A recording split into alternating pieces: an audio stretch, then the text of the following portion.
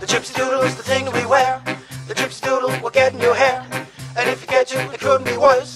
The things you say will come out in reverse, like You love I and me love you. that's the way the gypsy doodle works.